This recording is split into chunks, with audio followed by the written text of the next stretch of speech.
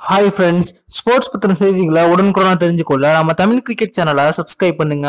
உலகக்கோப்பையில நேற்று நடந்த முதல் அரையிறுதி போட்டியில இந்திய அணியின் விக்கெட் கீப்பரான மகேந்திர சிங் தோனி தன்னுடைய கையில அடிபட்ட போதிலும் அதை பொருட்படுத்தாம தன்னுடைய அணிக்காக கடைசி வரைக்கும் போராடி வந்திருக்காரு. அவருடைய கையில எந்த அளவுக்கு காயம் பெரிதா இருக்குன்னா அவர் போட்டி முடிந்த பிறகு வீரர்களுக்கு கை குலுக்கும் போது பாத்தீங்கன்னா வலது கையை கொடுத்து கை குலுக்காம இடது கையினால் கொடுத்து கை குலுக்கியிருக்காரு. அது தொடர்பான புகைப்படம் தற்போது சமூக வலைதளங்கள்ல பரவி ரொம்பவே வேகமா வைரல் ஆகி வந்துட்டு இருக்கு நேற்று நடந்த போட்டியில முதல்ல பேட்டிங் செய்த நியூசிலாந்து அணி ஐம்பது ஓவர் முடிவுக்கு எட்டு விக்கெட் இழப்பிற்கு இருநூத்தி முப்பத்தி ஒன்பது ரன்கள் எடுத்தாங்க. அதன் பிறகு கிளம்பின இந்திய அணி பாத்தீங்கன்னா டாப் ஆர்டர் பேட்ஸ்மேன்கள் எல்லாருமே சொற்ப ரன்கள் ஆட்டமிருந்து வெளியேற இந்திய அணியின் மிடில் ஆர்டர் பேட்ஸ்மேன்களான ரவீந்திர ஜடேஜா மற்றும் மகேந்திர சிங் தோனி இவங்க இரண்டு பேரும் சிறப்பான ஆட்டத்தை வெளிப்படுத்தினாங்க கடைசி கட்டத்துல இரண்டு ஓவருக்கு இந்திய அணி வெற்றிக்கு முப்பத்தி ஓரு ரன்கள் தேவை என்ற நிலைமையில மகேந்திர சிங் தோனி ஒரு சிக்ஸ் அடிச்சாரு.